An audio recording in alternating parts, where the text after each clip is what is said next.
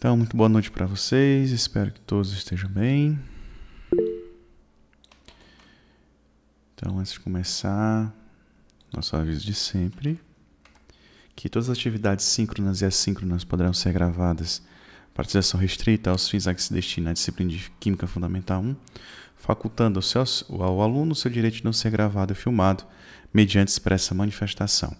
Além disso, é proibida a utilização dessas imagens sem a expressa autorização dos seus participantes. Portanto, caso vocês não queiram aparecer na aula, por favor, me avisem para removê-los na edição. Então, o que é que nós vamos ver hoje? Nós vamos fazer uma continuação sobre o conteúdo de Química Inorgânica, falando agora mais detalhadamente sobre o equilíbrio ácido-base. Então, na aula passada, nós falamos sobre nomenclatura dos compostos inorgânicos, falamos de algumas teorias ácido-base de Bronsted-Lowry e de Lewis, Falamos também da teoria de Arrhenius, né, que tem a ver justamente com a teoria dos eletrólitos, e também fizemos um comparativo entre as teorias ácido-base. Então, hoje o que é que nós vamos ver? Nós vamos analisar os aspectos quantitativos quando, é, quando temos um equilíbrio químico, né? ou seja, quando temos uma reação na qual não há total conversão de reagentes em produtos. Então, nós já vimos que a, o grau de dissociação ou grau de ionização de um composto vai dizer para a gente se ele é um tipo de.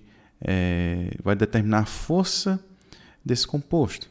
Então, em geral, quando nós temos um eletrólito forte, ele está quase 100% dissociado. Não é o caso das substâncias que possuem baixo grau de ionização.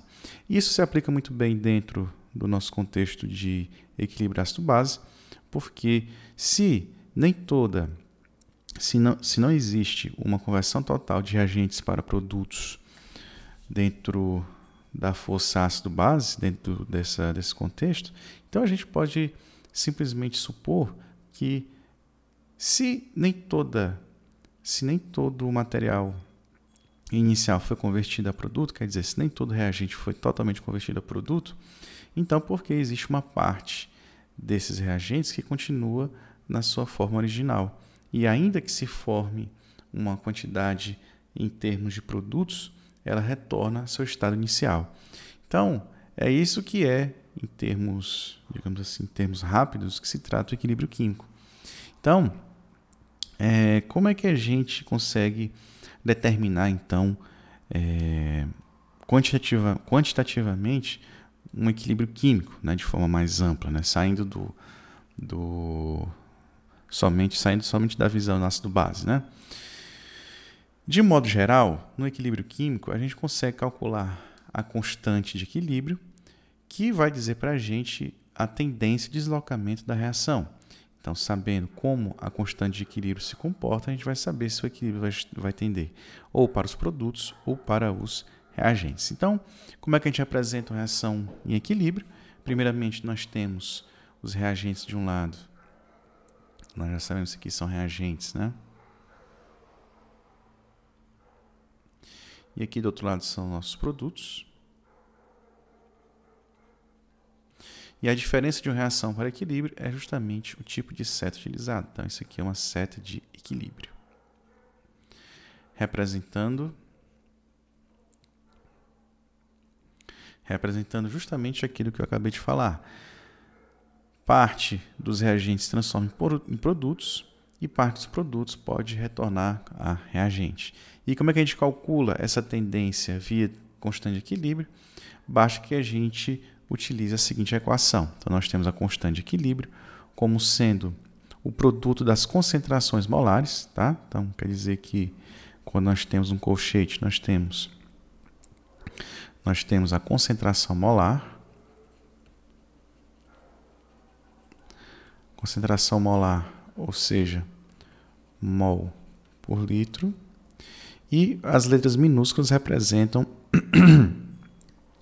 representam a, é, o número de mols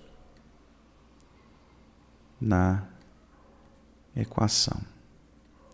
Então, esse número que fica elevado a A, a B, a C ou a D representa justamente a multiplicidade do composto. Então, significa dizer que nós vamos elevar essa substância, a concentração dessa substância, à potência que houver dentro dessa equação.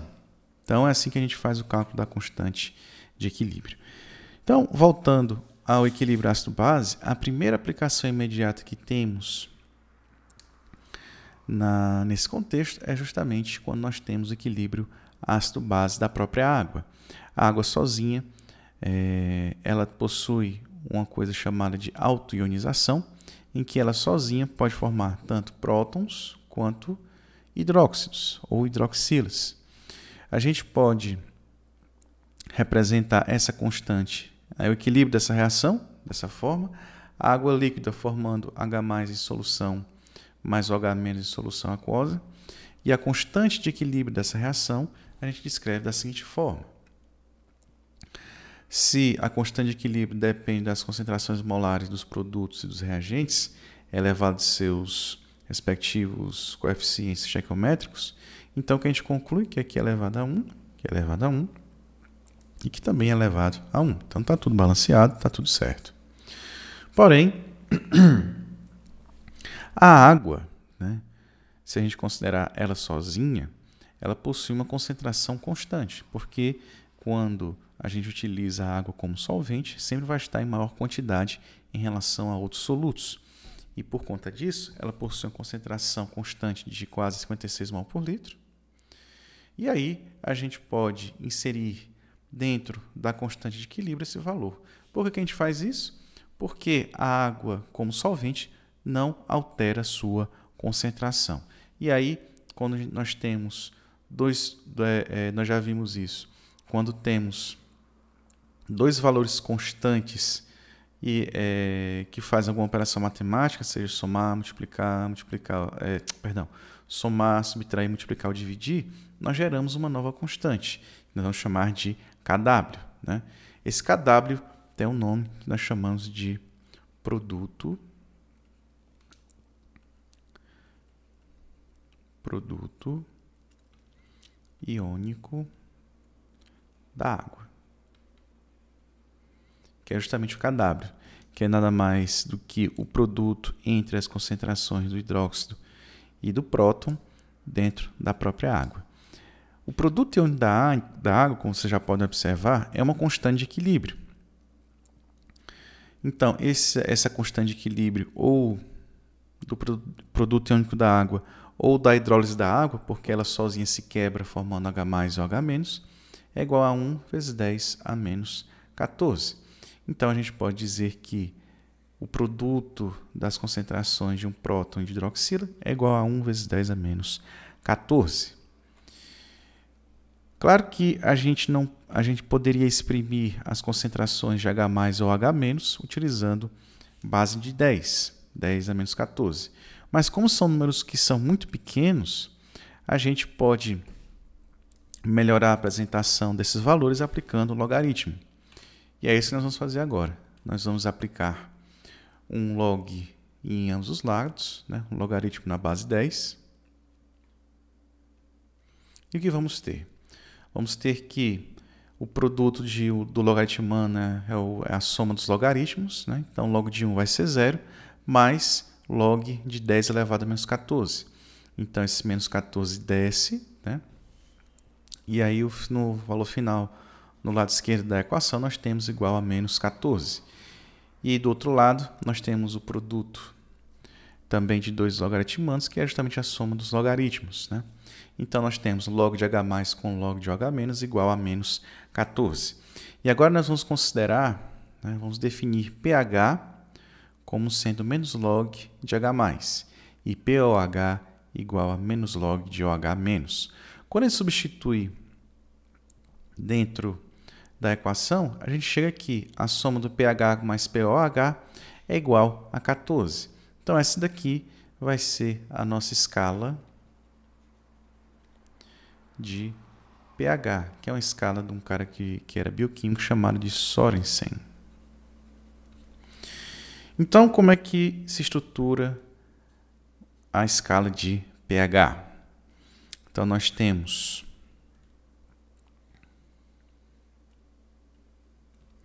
os extremos do pH, 0 e 14.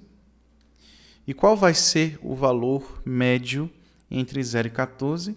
Basta somar e dividir por 2, né? 14 mais 0, 14 dividido por 2 vai dar 7. Então, vai ser mais ou menos aqui. E aí, nós definimos que se pH é igual a 7, significa dizer que a solução aquosa é neutra. Porque pH é igual a POH, que é igual a 7. Então, aqui o pH em 7 é considerado neutro.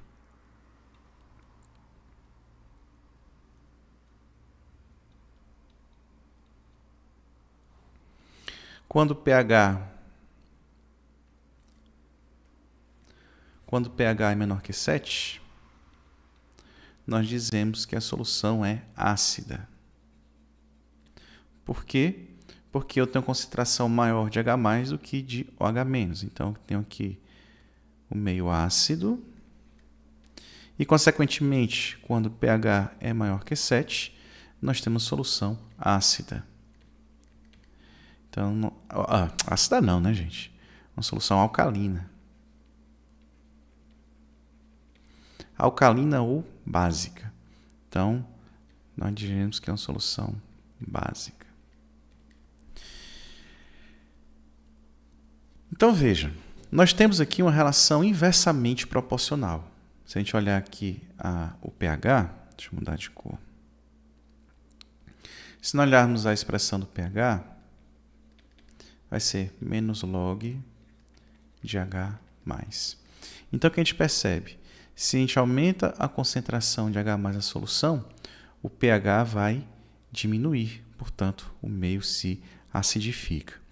Quando nós temos o caminho inverso, ou seja, quando diminui a concentração de íons H+ em solução, aumenta o pH. Nós podemos também fazer essa mesma observação a partir do pOH, que é igual a menos log da concentração de OH menos. Então, da mesma maneira, se nós aumentamos a concentração de íons OH o pOH diminui. E também, se nós diminuirmos a concentração de OH na solução, o pOH aumenta. Então, nós temos aqui um movimento duplo. Se o pH diminui, o pOH aumenta. Por quê? A concentração de íons H+ aumenta e a concentração de íons OH- diminui e vice-versa. Então, todas as vezes que vocês se referirem ao pH em soluções aquosas, tenham em mente que é assim que a gente tem que interpretar. Então, lembrando, pH 7 é o pH médio, né? o pH que está no meio, que ele é neutro. Ou seja, não é uma solução ácida ou básica. Abaixo de 7, nós temos a solução ácida. Aqui está a solução ácida. E acima de 7, nós temos uma solução básica ou solução alcalina. Tá? Então, como vocês perceberam, né, o equilíbrio ácido-base a partir da alcalinização da água pode ser aplicado dentro do nosso contexto aí de ácidos e bases. Então vamos pegar um ácido qualquer, um ácido fraco qualquer que ele é. Imagine que fosse o ácido acético, né? Então, HA, ele vai se dissociar, perdão, vai se ionizar em H+, e A-. Então, podemos calcular uma constante de equilíbrio que nós vamos chamar de constante ácida, porque esta constante ácida tem a ver justamente com o ácido, né? HA, que ele vai depender das quantidades de H+, e A- em solução e também da concentração inicial de HA. Então, a gente pode medir o pH de uma solução de um ácido fraco utilizando a equação de Henderson-Hasselbalch, que é justamente essa daqui. Equação de Anderson Hasselbalch que correlaciona o pH de, uma, de um eletrólito fraco, né, principalmente um ácido fraco, a partir do seu pKa mais o log de A- dividido pela concentração de HA. O pKa é uma constante característica do ácido.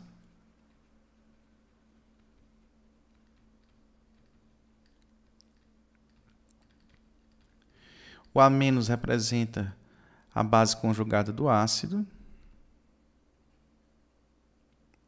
que a gente pode traduzir isso como um sal, né? um sal que foi baseado esse esse que foi baseado nesse ácido e aqui a concentração do ácido propriamente dita, que a gente chama de concentração analítica, né? Aquela concentração que a gente calcula antes de preparar a solução, tá?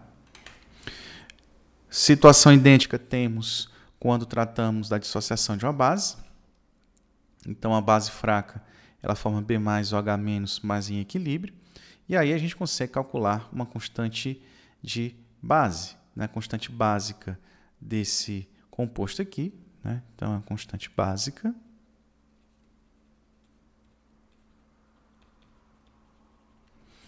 depende da concentração do cátion em solução, da concentração de hidróxido em solução e da concentração analítica do hidróxido em questão. E também nós temos a outra versão da equação de Henderson-Hasselbalch, Anderson Hasselbalch para bases fracas. Então, o que acontece? Se nós temos ácidos fracos e conseguimos determinar o pH de uma solução desse composto, também na mesma, no mesmo sentido, a gente consegue calcular o pOH, né? ou seja, a basicidade do meio, só que agora considerando o pKb, que é a constante básica, né? Ácida não, né? Constante básica. Nós temos o ácido conjugado dessa base, que também corresponde ao cátion do sal, que, foi, que, pra, que pode ser produzido esse composto, e aqui a concentração analítica do hidróxido de, é, de base fraca. Tá? Então, é, a gente consegue fazer essas medições de pH e pOH utilizando essas quantidades, se nós tratarmos aí de um ácido ou uma base fraca. Então, nós falamos muito sobre a parte termodinâmica, é, e é exatamente isso que a gente vai discutir agora. Né? Então, por que termodinâmica? Porque toda constante de equilíbrio tem a ver com quantidade de energia que envolve numa solução. Então, lá na Físico-Química 1, vocês vão estudar isso, né? vão estudar energia de Gibbs, vão observar que existem certas quantidades energéticas, né? certas condições experimentais que permitem que exista a que exista o equilíbrio químico, mas vamos, é, vamos aqui nos conceitos, né? Antes de vocês se aprofundarem, para vocês não se perderem. Então, é, nós falamos também do ácido e base conjugados para cada substância em questão. E aí, como a gente já tinha, nós, como nós já havíamos calculado, né?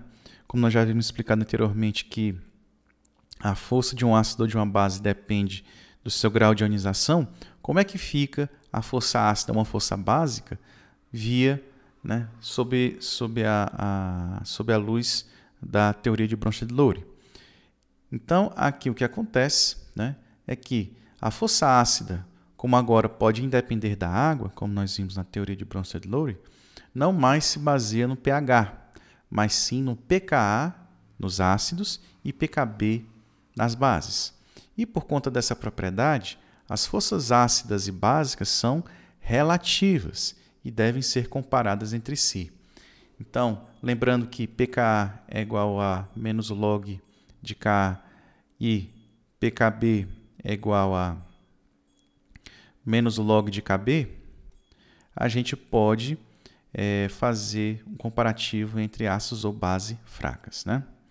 Então vamos aqui num exemplo que é o chamado ácido acético e o ácido cloroacético. O que há de diferente nos dois ácidos? Que um, que é o ácido acético, tem essa fórmula química, e o ácido cloroacético substituiu um dos hidrogênios que está no grupo carbônico da cadeia desse ácido por cloro. E aí, dentre, entre esses dois ácidos, né, o acético e o cloroacético, qual dos dois é mais forte? Então, como é que a gente consegue comparar a força ácida desses dois, desses dois compostos? A gente vai lançar mão do pKa. O do ácido acético é igual a 4,76 e do cloroacético é igual a 2,86. Então, vamos comparar em termos de equilíbrio químico cada um desses compostos. Então, o equilíbrio de ambos os ácidos pode ser representado de forma genérica pela equação que nós já vimos. Então, o ácido HA mais H2O, formando o próton ou hidrônio mais A-. O par ácido fraco e sua base conjugada representa justamente o que eu acabei de falar, né? O par ácido acético acetato para o ácido acético e o ácido cloracético cloracetato no caso do ácido cloracético. Então, a constante desse equilíbrio, a gente já viu, né? Como vocês podem perceber, é a quantidade que é diretamente proporcional ao ácido, a, a quantidade de H mais formada e a quantidade de A menos formada e, consequentemente, inversamente proporcional à concentração do ácido inicial. Como nós já vimos, pKa é igual a menos log de Ka e pKa e Ka são inversamente proporcionais entre si.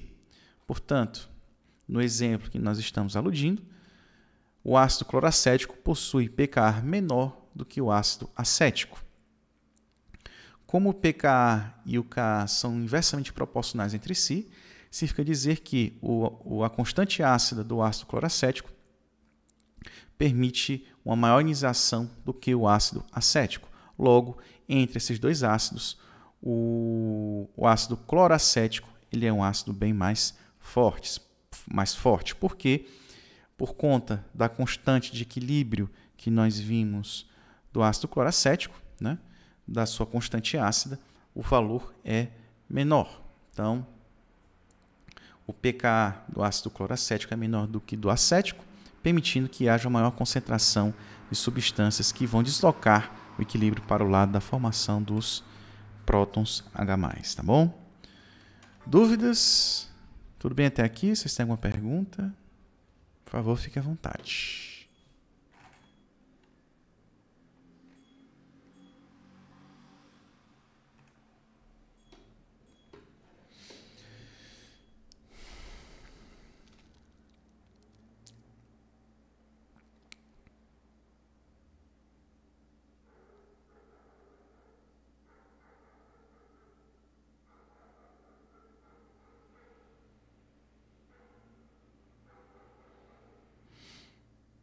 Podemos continuar?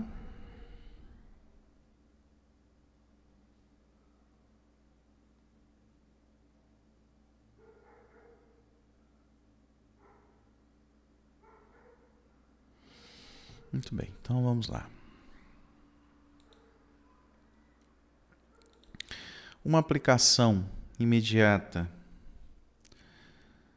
do equilíbrio ácido-base no, na química em geral é justamente as soluções tampão. Esse tipo de solução, elas mantêm o pH de uma mistura frente a pequenas variações físicas. Né? Então, uma solução tampão ela resiste a pequenas variações de volume, temperatura, de adição de reagentes e etc. Como vocês podem perceber, essa solução tampão ela precisa ter tanto o ácido ou base fraca junto com seu conjugado para manter o pH constante. Por que eu digo isso? Vamos aqui observar o caso né, da equação de Henderson-Hasselbalch aqui. Então vejam que o pH depende do pKa do ácido ou da, do conjugado, mais o log da razão entre a base conjugada e, e a concentração inicial do ácido. Se pKa é uma constante, logo quem vai definir o pH vai ser essa diferença aqui, essa divisão entre a concentração do conjugado pela concentração inicial do ácido. Então, como é que funciona o, o, o tamponamento de uma solução? Funciona quando nós igualamos a concentração de A- com AH. E o que acontece? Se as concentrações são iguais, nós temos que esse logaritmo ele se, ele se anula e o pH se torna exatamente igual ao pKa do ácido. Portanto, numa solução que nós temos soluções equimolares de A- e HA, o pH é exatamente igual ao pKa. Então, dito isso, vamos falar de um exemplo de tampão, que é justamente o tampão carbonato, bicarbonato dentro do nosso sangue como nós temos, nós respiramos, né? nós expiramos oxigênio e respiramos CO2, nós temos justamente um, uma coisa chamada de homeostase. Quer dizer, nós temos uma constância de certas quantidades da, do nosso organismo, causado pela inspiração ou expiração, e o CO2, como nós já vimos, ele se solubiliza né, na, na, na, na água e o que acontece é que ele pode formar o par carbonato e bicarbonato. E esse par carbonato-bicarbonato ele tem uma faixa de pH muito estreita. Então, o que significa dizer faixa de pH estreita? É justamente a região na qual o pH varia. Então, para vocês terem ideia, a faixa de pH do tampão carbonato é entre 7,35 até 7,45 é, uma, é um ajuste muito fino de pH. Então, o que permite que o pH do nosso sangue se mantenha estável é justamente o tampão carbonato-bicarbonato. Então, via de regra, parte do CO2 que a gente recebe da expiração, ele é dissolvido no nosso organismo justamente para a manutenção desse pH da nossa solução. Se nós temos um pH, uma elevação muito drástica de pH, nós temos aí uma doença chamada de alcalose. Se o pH diminui muito por conta da acidez do sangue, né? se alguma substância que, que quebra a função tamponante do, do tampão carbonato-bicarbonato, nós temos aí um problema chamado acidose, né? que é um problema comum em quem sofre de síndrome metabólica. Então, como nós poderíamos imaginar o passo a passo para preparar uma solução tampão. Né? Uma solução tampão muito comum, muito utilizada nos laboratórios é justamente o tampão ácido acético acetato. Então vamos aqui utilizar, né, vamos aqui é, mostrar o passo a passo de uma preparação de 100 ml de solução ácido acético acetato de sódio numa concentração 0,1 mol por litro. Então, a primeira coisa a saber é justamente calcular o número de mols de cada substância. Nós já sabemos como calcular a massa molar de uma substância qualquer, basta contar o número de elementos que existem na, na substância e converter isso via massa molar. Então, nós temos que a massa molar do ácido acético, 60 gramas por mol, e a massa molar do acetato de sódio, 82 gramas por mol.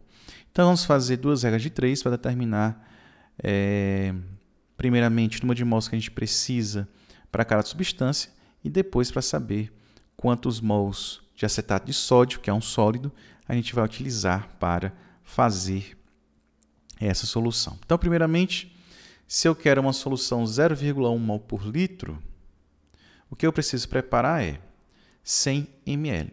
Então, já sei qual é a proporção que eu preciso para fazer H de 3. Então, se 1000 ml, ou seja, 1 litro, eu quero ter 0,1 mol de acetato de sódio, então 10% desse valor, ou seja, 100 ml, eu tenho 0,01 mol de acetato de sódio, uma quantidade 10 vezes menor. Então, eu preciso de 0,01 mol de acetato de sódio para preparar 100 ml de uma solução 0,1 mol por litro. Em seguida, eu quero saber a massa correspondente a 0,01 mol de acetato de sódio. Então, utilizo a massa molar dessa substância, ou massa molecular. Então, 1 mol de acetato de sódio possui 82 gramas de acetato de sódio.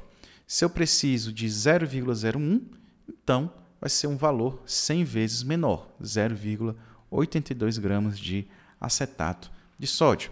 Então, nós já sabemos quantos mols precisamos para 100 ml de solução e também sabemos qual é a massa de acetato de sódio para preparar essa solução. Então, beleza, parte sólida, ok? Vamos agora ver a parte do líquido, que é justamente o ácido acético que a gente utiliza. O ácido acético que nós utilizamos no laboratório, né, dependendo da produção, ele não é 100% puro. Há condições que ele é mais ou menos puro. Né? Então, você já pode imaginar, quanto mais puro, quanto mais pura for a solução, quanto maior for o seu grau de pureza, mais caro será. Mas é claro que existe um limite.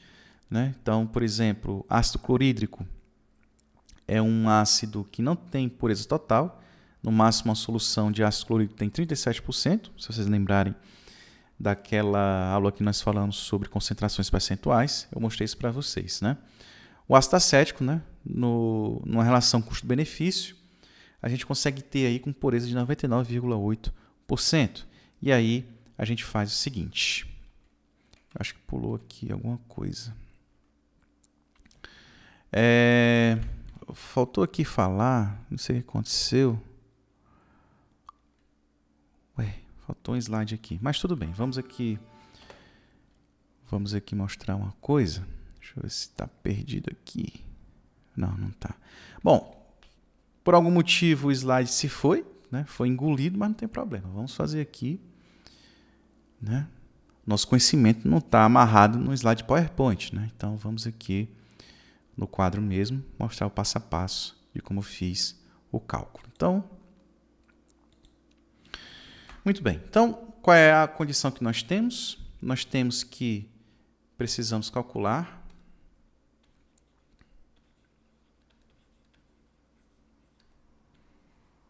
da concentração molar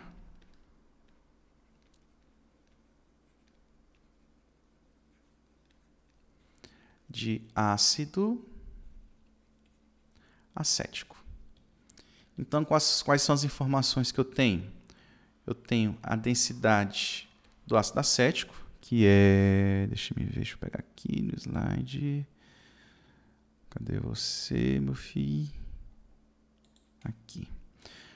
Peguei essa imagem aqui do site da SP Labor. Vamos aqui aproveitar.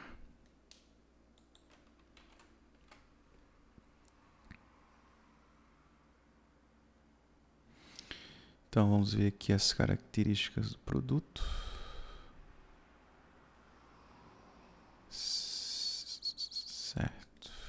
1,05 grama por mililitro. Então é 1,05 gramas por mililitro, que é a densidade do ácido acético. A massa molar dele é 60 gramas por mol. E nós temos também a, o percentual, né, ou antigamente chamado de título da solução. Que aí a gente, a gente fixou não em 100%, porque isso aqui é um, um negócio bem, bem difícil de encontrar, mas via de regra é 99,8%. Então é 99,8%. Muito bem. Então a primeira coisa a fazer, deixa eu diminuir o zoom. Então a primeira coisa a fazer quando nós não sabemos a concentração molar de um ácido ou de uma solução que não está bem descrita, a gente pode utilizar a densidade. Então, nós vamos relacionar a densidade, nossa, a densidade com a massa molar. E como é que a gente faz isso? Faz regra de 3. Então vamos lá. Um detalhe 1 ml equivale a 10 a menos 3 do litro. Então, se a gente converter para a densidade, nós temos que ρ é igual a 1,05 gramas por 10 a menos 3 do litro. E aí, deixa eu colocar em outros termos aqui para enxergar, vocês enxergarem melhor. Então, nós temos 10 a menos 3. Não fica aqui. Então, é grama 10 a menos 3 do litro. Agora sim. Então, vamos remover esse 10 a menos 3. Vamos multiplicar por 10 a terceira, em cima e embaixo. E aí, nós chegamos a 1.050 gramas por litro. Por que, que eu fiz isso? Essa conversão de mililitros para litros permite que a gente ache a concentração em mol por litro. Então, essa é a primeira coisa a fazer. A segunda é preparar a regra de 3. Então, se, nós se a gente sabe que 60 gramas de ácido acético, vamos colocar assim, A, corresponde a 1 mol, se eu tiver 1050 gramas de ácido acético em um litro de solução, eu tenho N. Então, 60N é igual a 1050, o valor N final vai ser 1050 dividido por 60. Vai ser exatamente igual a 17,50 mol por litro de solução. Nós já encontramos a molaridade da solução. Então, a gente já, a gente já sabe que a molaridade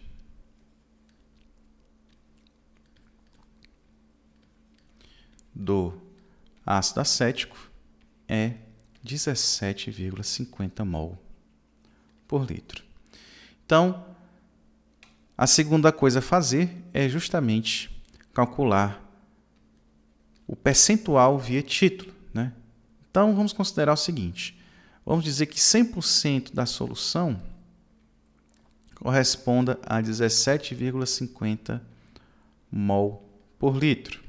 Quer dizer, numa condição ideal, 100% do ácido acético que a gente está utilizando é 17,50 mol por litro. Então,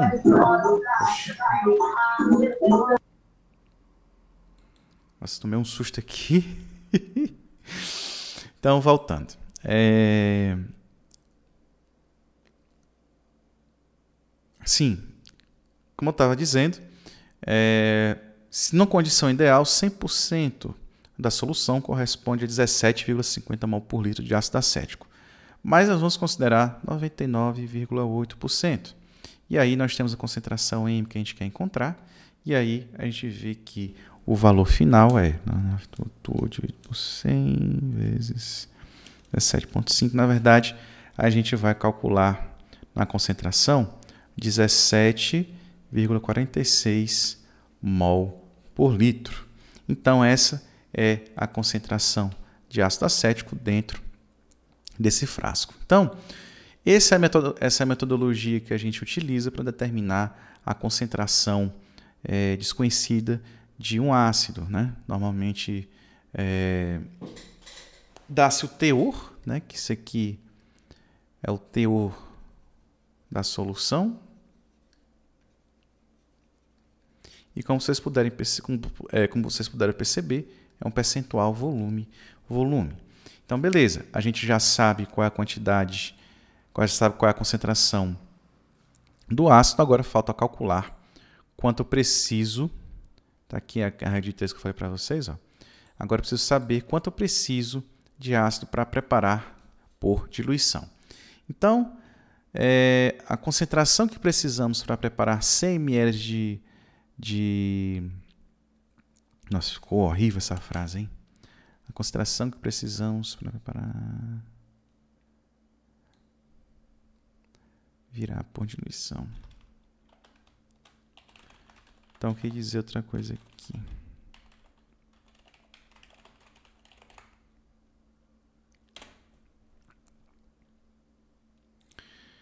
Então, ó, é, a concentração que precisamos para preparar 100 ml de concentração 0,1 mol por litro de ácido acético utilizará parte da solução estoque, que é justamente a solução concentrada. Portanto, utilizando o princípio da diluição, nós vamos calcular o volume que nós precisamos. Né? Então, se eu quero uma solução 100 ml de 0,1 mol por litro, eu vou utilizar uma solução estoque de 17,46 mol por litro. Aí nós vamos pegar o V2, que é o volume da alíquota que eu preciso, e quando eu faço essas contas, nós chegamos que V2 é igual a 0,58 mililitros. Então, qual é a conclusão que nós chegamos nesse exemplo? Para preparar 100 ml de uma solução tampão ácida, né, ou seja, tampão de ácido acético com acetato, precisamos dissolver nesse balão 0,82 gramas de ácido acético e também 0,58 mililitros de ácido acético glacial. E como é que eu sei o pH dessa solução? Aí eu utilizo um equipamento chamado potenciômetro. Né? Tem vários nomes para esse negócio aqui. Né? Então, tem o potenciômetro. Nós temos também um outro nome como pH-âmetro, que é um nome muito esquisito, mas é assim que a gente fala, pH-âmetro. Né? Então, o que é o potenciômetro? O potenciômetro é um equipamento que converte uma propriedade das soluções que conduz a eletricidade, que nós chamamos de potencial eletroquímico, converte esse potencial eletroquímico em valor de pH. Então, o que acontece? Nós estamos medindo uma tensãozinha elétrica, né, um trabalhinho elétrico dentro da solução, e esse equipamento ele é suficiente, ele é sensível o suficiente para converter essa diferença de potencial bem pequenininha em pH. Para vocês terem uma ideia, a diferença de pH que ele mede, né, o ΔE, é em torno de 59 milivolts, né, ou seja, 0,059 volts. É, Para vocês compararem, uma pilha AA comum ela tem 1,5 volt. Então, uma, uma solução de um condutor iônico, né? ou seja, uma solução, nós temos duas substâncias que são altamente que são condutores. Né? Nós temos o ácido acético, que apesar de baixo também conduz, e temos também o sal, a partir do ácido acético, o acetato de sódio, que por conta do sódio, vocês verão isso lá na Físico-Química B, quando estudarem, é, quando estudarem condutividade de soluções, vocês vão perceber que é, existe também a condutividade, e também essa condutividade está relacionada com essa diferença de potencial, que tem a ver com a equação chamada equação de Nernst. Tá? Então, é com pH que a gente mede um pH. Também, se você for rato de laboratório, você também pode medir o potencial da solução, que já é uma outra coisa, outra coisa que também é muito interessante de se estudar. Então, pronto. Se eu sei a quantidade, se eu sei a concentração do tampão, eu sei como medir o pH, aqui então eu posso, eu posso numa curva de titulação, né, que isso aqui é uma curva de titulação, eu consigo ver justamente como que o tampão, nesse tampão ácido acético acetato, funciona. Então, vocês estão vendo pH versus equivalentes de hidróxido, que nada mais é o número de mols que está sendo adicionado dentro de um, de um sistema de titulação. Então, imagina que nós tenhamos um suporte universal. Então, temos um, um, um Erlenmeyer, contendo aqui o que nós chamamos de titulado. Aí, titulado que é justamente o tampão. E aí, nós temos aqui preso as pinças, nós temos uma bureta. Deixa eu ver se eu consigo desenhar uma buretinha. Então, nós temos uma bureta, que é um equipamento de precisão que permite medir volumes em pequenas quantidades, em torno de 0,01 mililitros. Então, dentro, nossa, dentro, dentro dessa bureta vai existir uma solução de hidróxido de sódio que nós chamamos de padronizada, né? 0,1 mol por litro, que é o que nós chamamos de titulante. Portanto, a adição de um titulante a um titulado nós dizemos que é uma titulação. E aí, o que a gente observa? Quando a gente vai aumentando a concentração é, de OH na solução, nós, temos, nós observamos desculpe, que a, o pH em uma certa faixa ela varia linearmente. Né? Então a gente consegue perceber que essa variação de pH não é muito intensa. Em baixas concentrações de hidróxido, né, o pH aumenta muito. E acima do, dessa região, né, quando está depois do ponto de equivalência, né, vocês observam que o pH aumenta bastante. Então, o que, é que significa dizer cada coisa? Né? Aqui significa dizer que o equilíbrio do ácido acético com, o, o, com a base, né, que na verdade é essa daqui, ó,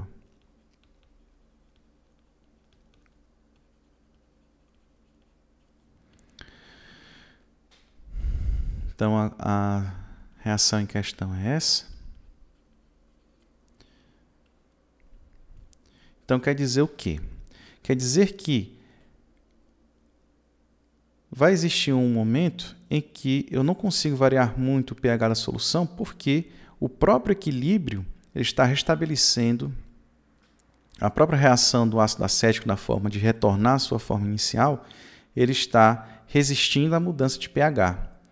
E vai ter um momento também que ele não vai suportar tanto esse essa variação de pH, que é por conta da adição de hidróxido de sódio, que é aí que nós chegamos justamente no ponto que nós chamamos de ponto de inflexão, que é ou então ponto de viragem, que ocorre quando chegamos justamente numa situação em que o número de mols de base vai ser igual ao número de mols de ácido e também do acetato. E a partir daqui começa a haver a formação de acetato de sódio. Né?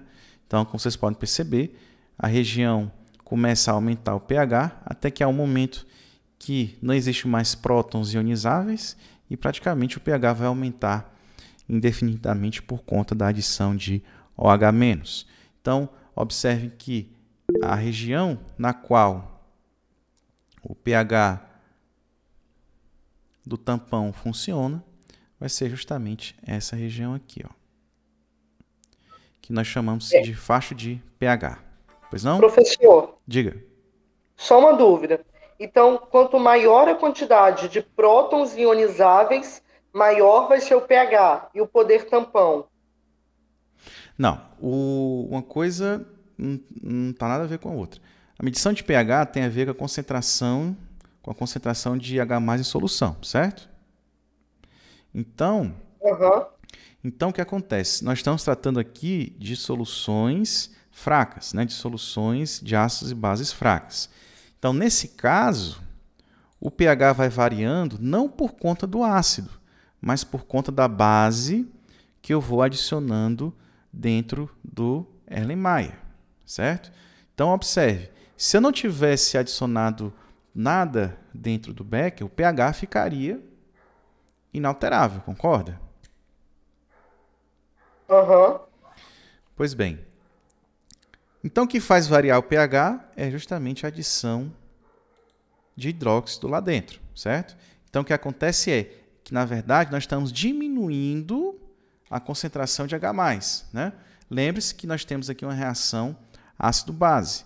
Então, no fundo, o que nós estamos fazendo... É, deixa eu mudar até a cor. É essa reação aqui, ó, que nós chamamos de reação líquida. H+, com H-, formando água. E quem vai regular a concentração de H em solução é justamente o ácido fraco, o ácido acético. Só que essa resistência ela não é absoluta. Quando nós chegamos no ponto de inflexão, onde nós temos aí quantidades iguais do ácido e da base do conjugado, o, o, o equilíbrio depende da formação do acetato. Lembre-se que o acetato agora, nós não estamos mais tratando do ácido acético, que é um ácido fraco nós estamos falando agora do seu conjugado, que o acetato é uma base forte. Portanto, ele não vai se. Por, por dois motivos. Um, por, por ser uma base forte, né? uma base conjugada forte. Né? Não esqueçam disso, que é uma base conjugada forte. primeira coisa a pensar. E a segunda coisa a pensar é que a concentração de H em solução diminuiu. Então, nós estamos aumentando o pH. Olha aqui a escala de pH. Nós estamos saindo de 4 até em torno de 6, né? dentro do intervalo de. dentro da faixa de pH do tampão. Certo? Então, nós estamos aumentando a concentração de OH- e estamos elevando o pH, certo? Então, só cuidado na hora de, de fazer essa análise, porque essas são coisas que são é, interligadas entre si. Então, a força ácida nada tem a ver com a adição de OH- à solução, mas sim com a capacidade que ele tem de diminuir o pH do meio. Entendido? Muito obrigado, professor. Consegui entender. Ótimo. Nada, filho.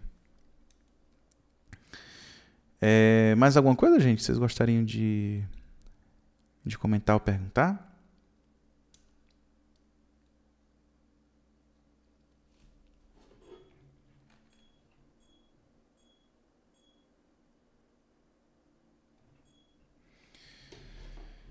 Muito bem, então continuemos. Então o que acontece? Então o que acontece é que a faixa útil de pH do tampão é justamente essa região na qual nós temos um crescimento relativamente linear do pH com a concentração do titulante, né? Que a gente pode resumir no seguinte: pH, aliás, pH não. É, o pH né, do tampão ele vai ser igual ao pKa mais ou menos 1. Então, como é que eu sei a faixa tamponante do pH do Nossa, desculpa, gente. Como eu sei a, a faixa tamponante do, da solução tampão que eu estou estudando, basta que eu some mais ou menos 1 ao seu pKa. Então, sei se é uma faixa estreita ou se é uma faixa é, comprida, né, por assim dizer, de, é, de faixa de pH. Então, o que significa dizer isso? Significa dizer que dentro da faixa de pH do tampão, eu tenho certeza que o pH vai se tornar inalterável, tá bom? Então, dúvidas, perguntas, questionamentos? Tudo bem até aqui?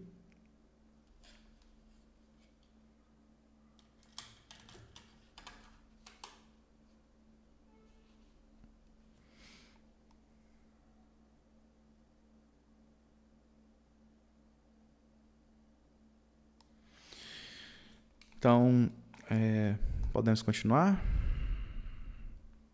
Podemos sim, professor. Ótimo. Então, continuando. Vamos agora falar de um tópico que ficou faltando quando nós tratamos de checometria das, é, das reações, que é justamente o balanceamento de reações de oxirredução em meio ácido ou meio alcalino, que é justamente o método do íon elétron. Então, nós vimos algumas aulas atrás sobre balanceamento de reações. E se tivermos algumas reações iônicas, né, ou seja, que envolvam cátions e ânions, e que possam envolver um equilíbrio ácido-base, a gente pode balancear essa equação em função dos prótons dos hidróxidos em solução. Então, existem dois métodos que a gente consegue fazer isso, que é o método do meio ácido e o método do meio básico, que em conjunto nós chamamos isso de método do íon elétron. Por que isso? Porque a gente faz o balanceamento da reação eliminando os elétrons que existem nessa reação. Então vamos aqui primeiramente considerar essa reação. Nós temos aqui o permanganato junto com o nitrito formando íon manganês 2 em nitrato. E sabendo que essa reação ocorre em meio ácido, vamos apresentar a sua equação balanceada. Primeira coisa a fazer é determinar o número de oxidação do elemento que sofreu oxidação ou redução. Então, lembre-se sempre que nós temos cátions e ânions com NOx fixo, como é o caso aqui do oxigênio, sempre aqui vai se apresentar da forma menos 2. E aí a gente consegue determinar qual é o número de, qual a variação de NOx do manganês e do nitrogênio. Do manganês, como vocês podem observar, ó, ele saiu de mais 7, número de oxidação mais 7, e foi para mais 2. Então, nós temos uma variação de elétrons, né? final 2 com inicial 7, 2 menos 7, menos 5.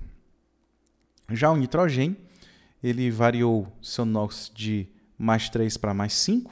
Então nós temos é, então nós temos o, o nitrogênio nitrato como forma mais 5 final menos o NOx nitrogênio né, no nitrito mais 3, ΔE é igual a 2. Lembrando que ΔE é o NOx final menos o NOx inicial. Então pronto, a gente percebeu, ΔE positivo representa oxidação, ΔE negativo representa redução, ou seja, o manganês se reduziu e o nitrito se oxidou a nitrato. Então, se a variação de NOx for positiva, significa dizer que o elemento sofreu oxidação ou perdeu elétrons. E se a variação for negativa, o elemento sofreu redução ou ganhou elétrons. Sendo assim, vamos agrupar as reações conforme essas observações. Então, eu inverti aqui. Na verdade, isso aqui é oxidação. E aqui é redução.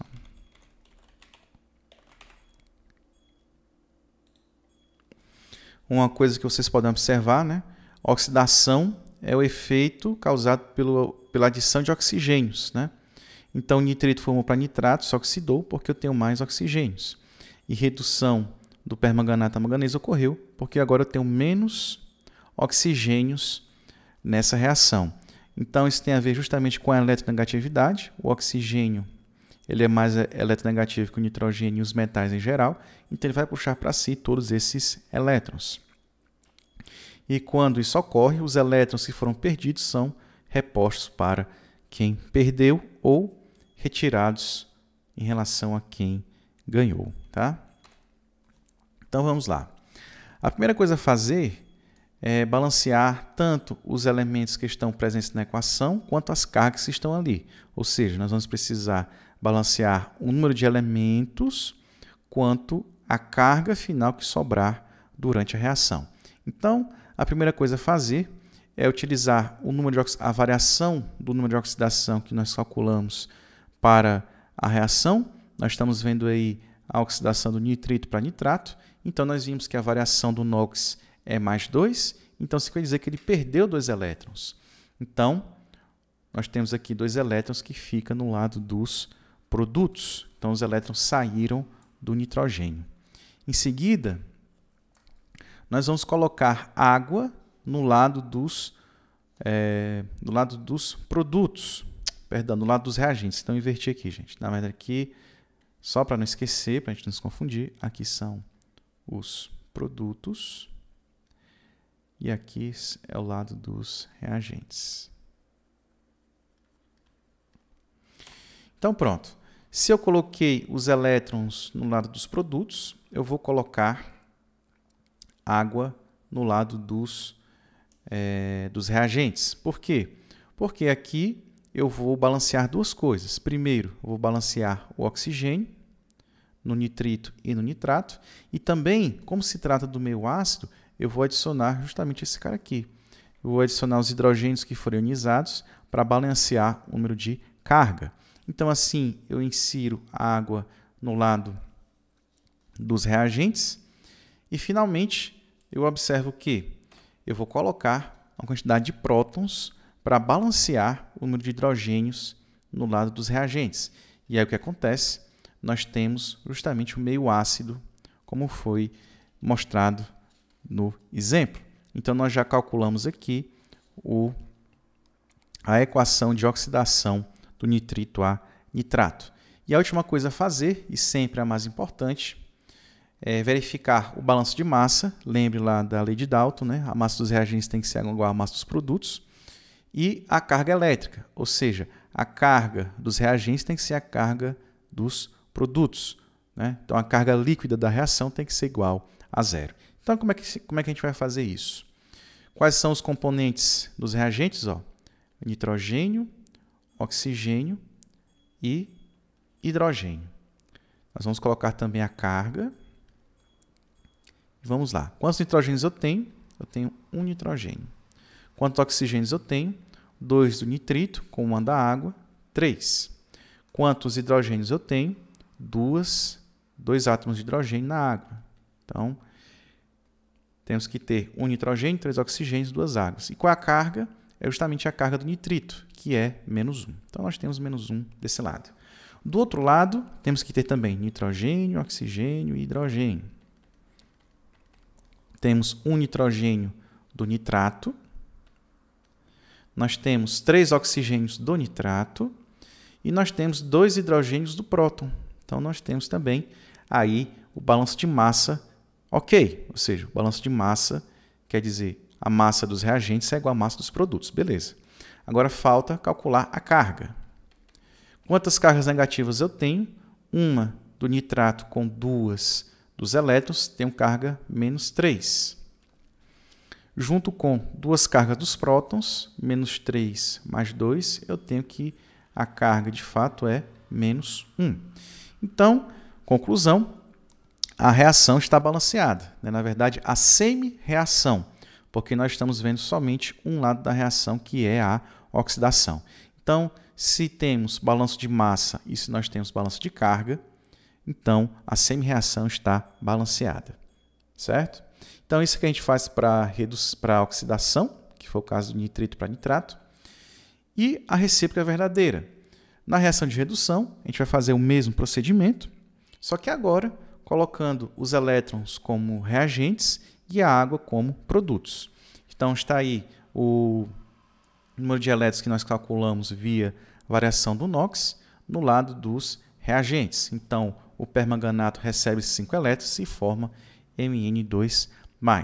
Observe que nós temos aqui o oxigênio do, do ânion permanganato e a gente vai compensar colocando 4 mols de água, porque aí a gente faz o balanceamento do oxigênio. Se eu balanceei o oxigênio no lado dos produtos, é porque eu preciso ter pelo menos 8 hidrogênios ou 8 prótons no lado esquerdo, no lado dos reagentes. Por quê? Porque eu preciso ter 8 átomos de hidrogênio em, na equação como um todo, por conta da lei de, é, lei de Dalton. massa dos reagentes tem que ser igual à massa dos produtos. E assim, eu faço o quê? Insiro 8 prótons por conta dos 4 hidrogênios que tem dos 4 mols de água que tem no lado dos produtos. E aí a gente faz o balanceamento. A gente acabou de fazer agora o balanceamento dos hidrogênios.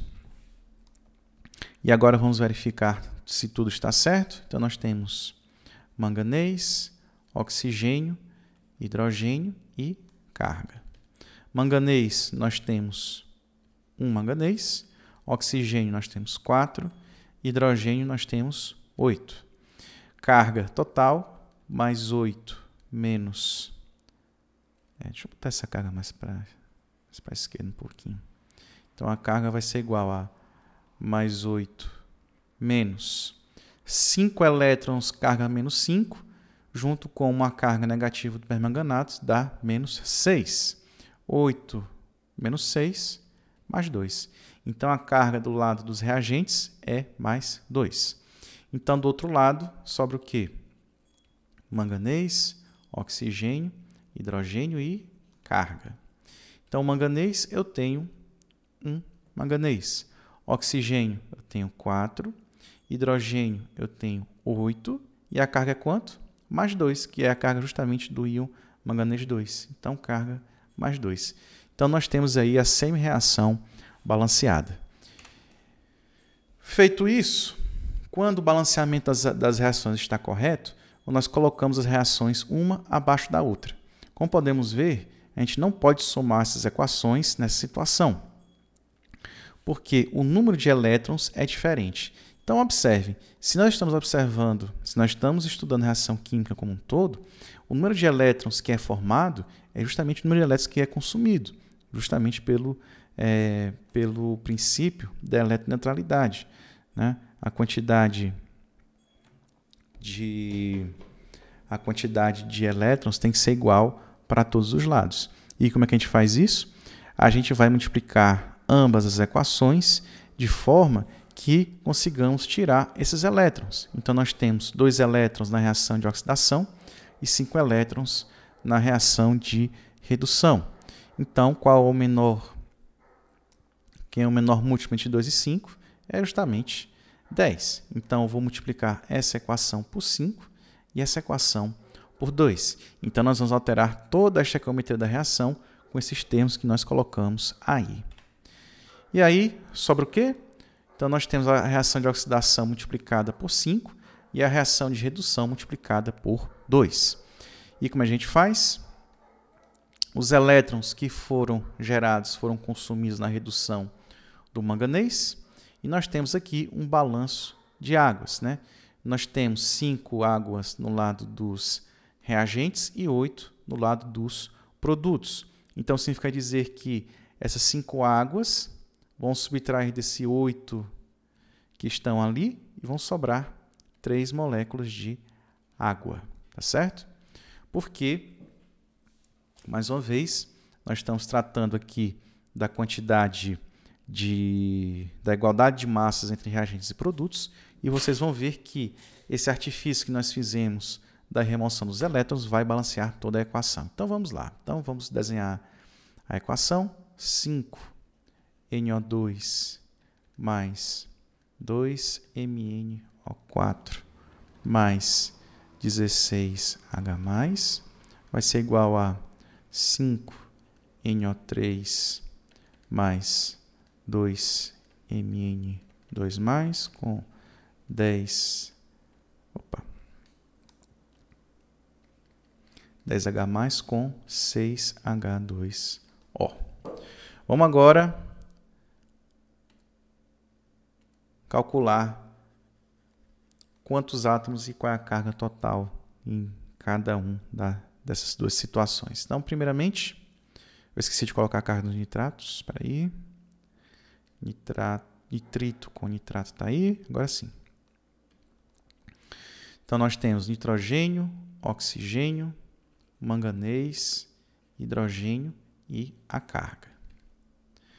Então, quantos nitrogênios nós temos? Cinco nitrogênios que vêm somente do nitrito. Então, cinco nitrogênios. Oxigênio, 5 vezes 2, 10, justamente do nitrito, junto com 8 oxigênios do permanganato, que eu esqueci de novo de colocar o sinal negativo. Então, nós temos 10 do nitrito com 8 do permanganato, então nós temos 18 átomos de oxigênio. O manganês são 2, hidrogênio são 16. A carga total vai ser quanto? Então a carga vai ser 5 vezes menos 1, menos 5, menos 2 vezes menos 1, menos 2, mais 16, que é a carga positiva do próton. Então nós temos é, 16 menos 7, que é igual a que é igual a mais 9. Então a carga que nós temos aqui no lado esquerdo da reação é mais 9. Nitrogênio, oxigênio, manganês e hidrogênio tem que ser iguais lá dos produtos e a carga fica aqui. Então, nitrogênio, oxigênio, manganês, hidrogênio, nitrogênio, nós temos 5 que vem do nitrato, oxigênio nós temos 15 do nitrato, com 6 da água. Então nós temos, na verdade não são seis, né, gente? São três. Já estava estranhando.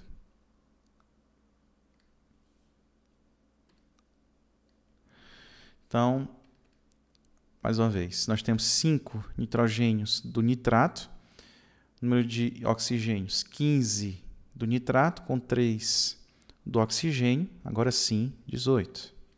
Manganês são 2, hidrogênios são 10 dos prótons com 6 da água, 16.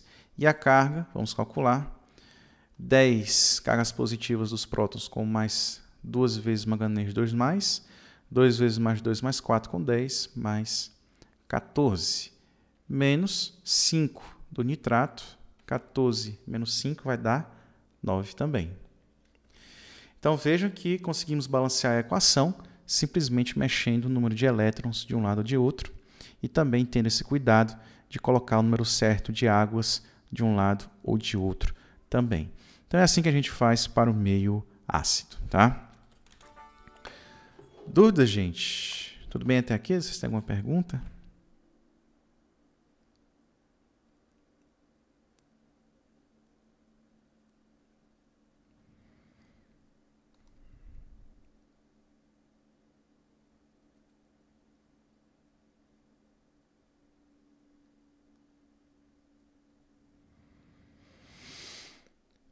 Podemos continuar?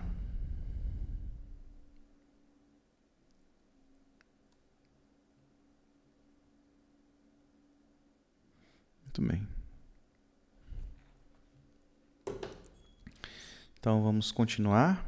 Então nós vimos a metodologia para o meio ácido.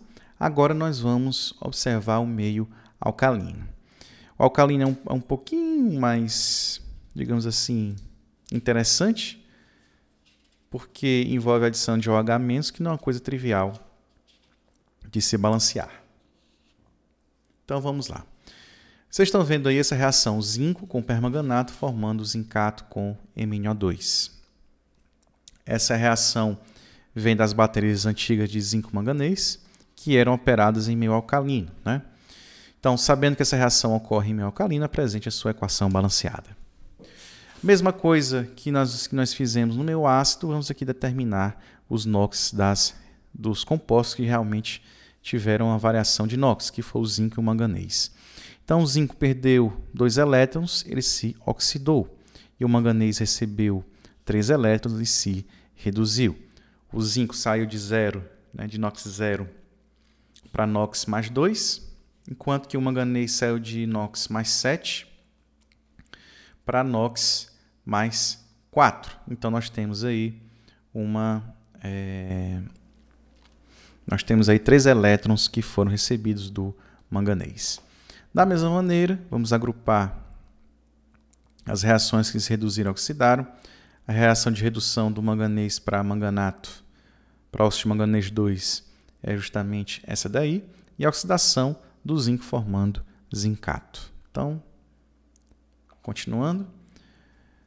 É, na reação de redução, vamos colocar os elétrons no lado dos produtos, porque se oxidou, então ele fica, os elétrons ficam no lado direito da reação.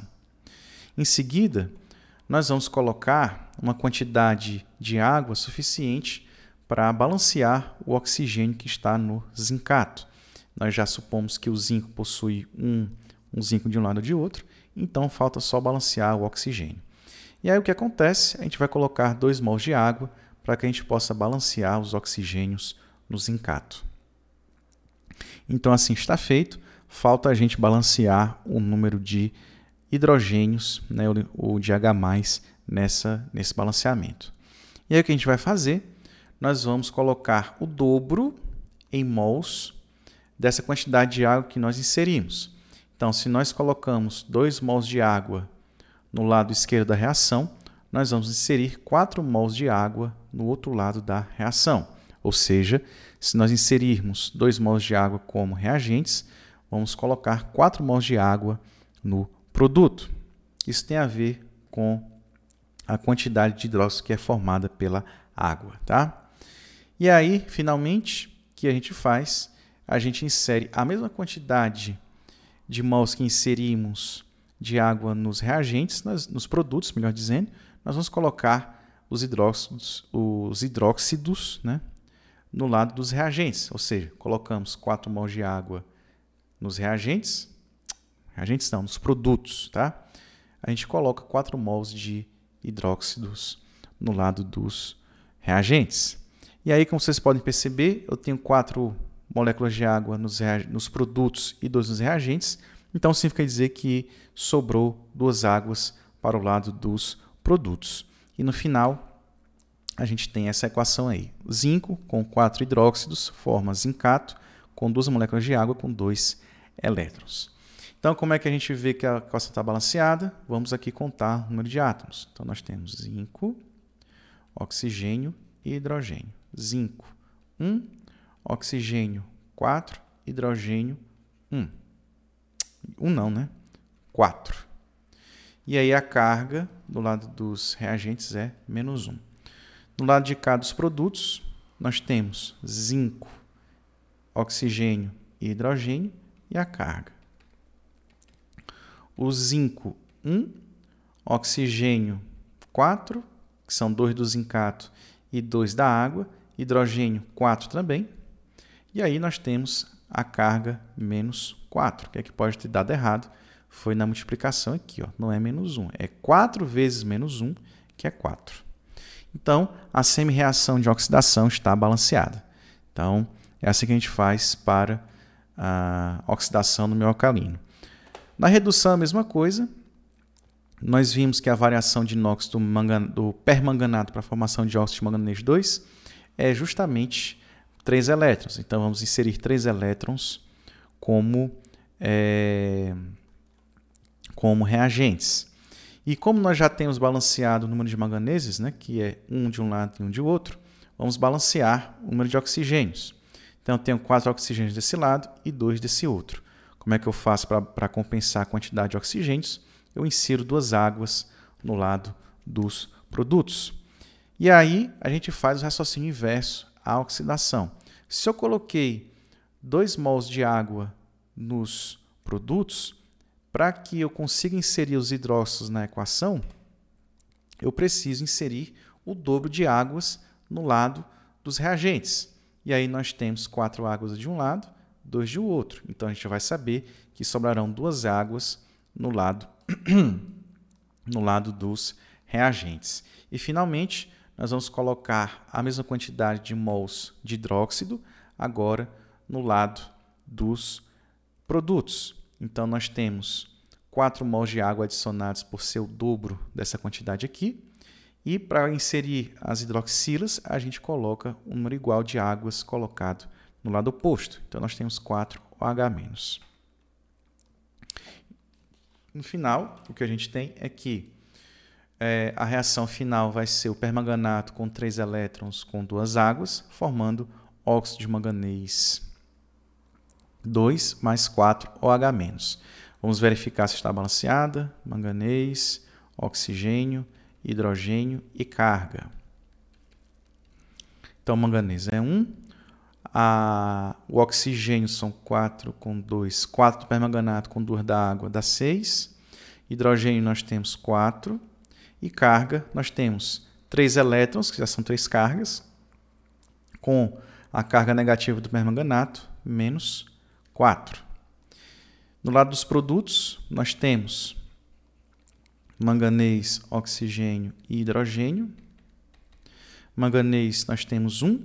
Oxigênio, nós temos 4 da hidroxila e nós temos 2 do óxido, então formam 6. Hidrogênio, nós temos 4. E a carga é 4 vezes menos 1 carga do hidrox da hidroxila, que é igual a menos 4. Então, nós já balanceamos a equação de redução. Da mesma forma que fizemos no meio ácido, vamos colocar a equação membro a membro e vamos multiplicar as equações por um número de modo a remover os elétrons. Então, nós temos 2 e 3, o múltiplo entre os dois é 6. Então, vou multiplicar essa equação por 3 e essa equação por 2. Multiplicando todo mundo, nós temos essa quantidade aí. Nós temos três incos com. É, acho que está errado. São 12, né? Então aqui não são 4, são 12. Então são 12 hidroxilas, né? E aí. 6, 6, ok. Esqueci de multiplicar por 2 ali. Então aqui são dois permanganatos com 6 elétrons, 4 águas, 2, 8. Beleza. Então, é... então o, que a gente, o que a gente observa? Que nós temos mais hidróxidos no lado dos reagentes do que nos produtos. Então, quando a gente fizer a soma das, das reações ou das semi-reações, a gente vai remover os elétrons, elas foram removidos, em seguida, nós temos o que? 8 hidróxidos menos 12 sobram 4OH- no cômpito do balanço. E aí o que nós vamos fazer? Somando as semi-reações, nós vamos ter que 2MnO4, permanganato, com zinco, com 4OH com água, vai ser igual a 2MnO2 com 3ZnO2, 2 menos, mais a água, né? Nós temos seis águas de um lado, quatro de um outro. Então a gente pode tirar isso daqui, sobrando duas águas no lado dos reagentes, né? Perdão, no lado dos produtos. Então, ao final, nós temos é, 2MnO2 mais 3ZnO2, 2 menos, mais 2 mols de água. Vamos conferir se a reação está balanceada. Deixa eu colocar um cozinha melhor, né? Então, nós temos manganês, zinco, oxigênio, hidrogênio e a carga. Manganês, nós temos 2 mols, zinco, nós temos 3, oxigênio, nós temos 8, permanganato com 4 hidróxido são 12, 4 hidrogênios do hidróxido são 4, carga igual a menos 2 com menos 4 do hidróxido, menos 6. Vamos mudar de cor aqui. Agora vamos ver para o lado dos produtos. Manganês, zinco, oxigênio, hidrogênio e carga. Então, manganês igual a 2, o zinco igual a 3, oxigênio são 4 com 6, 10, com 2 da água, 12. Hidrogênio são 4 hidrogênios da água. E a carga vai ser igual a 3 vezes menos 2 do zincato, vai ser menos 6. Então, gente, essa metodologia que a gente faz para fazer o, a, o balanceamento de reações em meio alcalino, utilizando o método do íon elétron, tá bom? E aí, gente, dúvidas? Tudo bem até aqui? Vocês têm alguma pergunta, fiquem à vontade.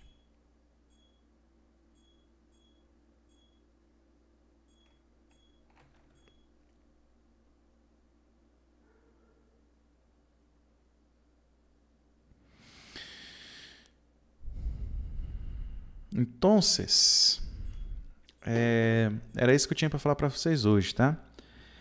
Então, na próxima aula vai ser a nossa preparação para a nossa terceira AP. Então, vamos aqui interromper a gravação.